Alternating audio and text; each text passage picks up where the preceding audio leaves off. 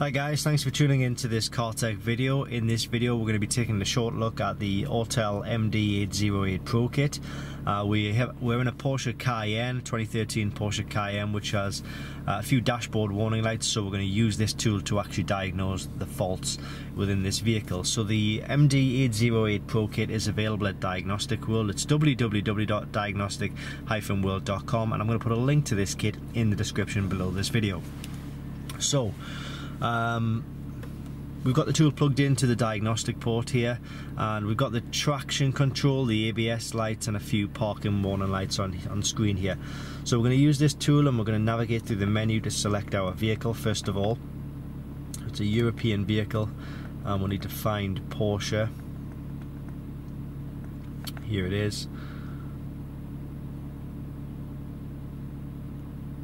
And we'll select our vehicle which is actually number two in the list here 928 from 2011 onwards so we'll select that uh, now you've got an option here to either automatically scan the whole vehicle or um, you can just choose to select the, the, system in which you, you know is faulty. So in this case, it's the PSM, which is Porsche Stability Management.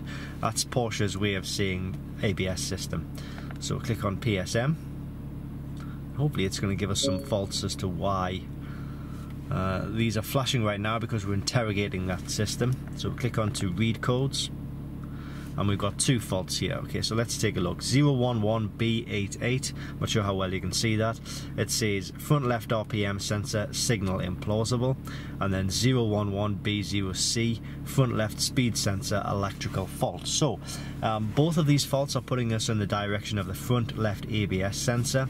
The speed sensor and RPM sensor are just another way of saying ABS sensor. So it looks like we have a faulty ABS sensor in this vehicle. Now uh, it's probably the lesser of a few evils in fact because an ABS sensor will only cost about £30 and it's a DIY job or you could give it to a garage if, you, if you're not confident on doing it yourself um, but yeah, £30 for the part as opposed to paying you know, a lot more for an ABS pump or an ABS module.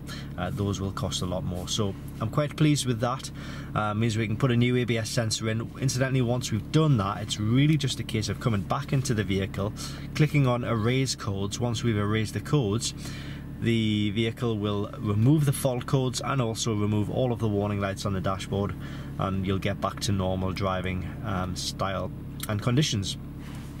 So it's all thanks to the MaxiDiag MD808 Pro kit by Autel.